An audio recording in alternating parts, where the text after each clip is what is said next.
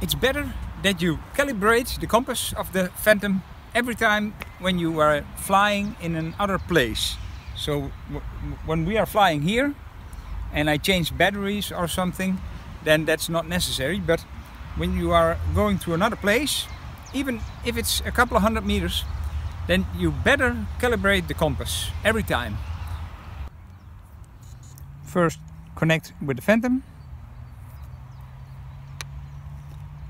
Yes, he's connected. Then I get the app and he's saying ready to fly GPS. Now I click here on and now you see calibrate. You see? I do it again. On this green, the, what's uh, he's saying ready to go GPS. And then you get this screen and you can click on calibrate. Okay, calibrate. Well, I can show it.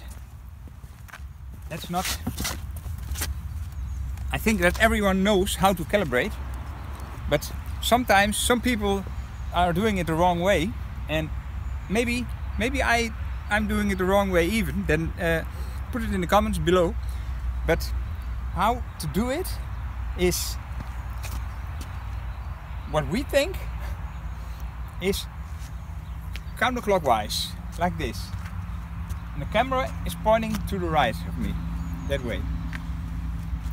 Now you see the green light, and now I'm letting it like this on a side, camera to the right.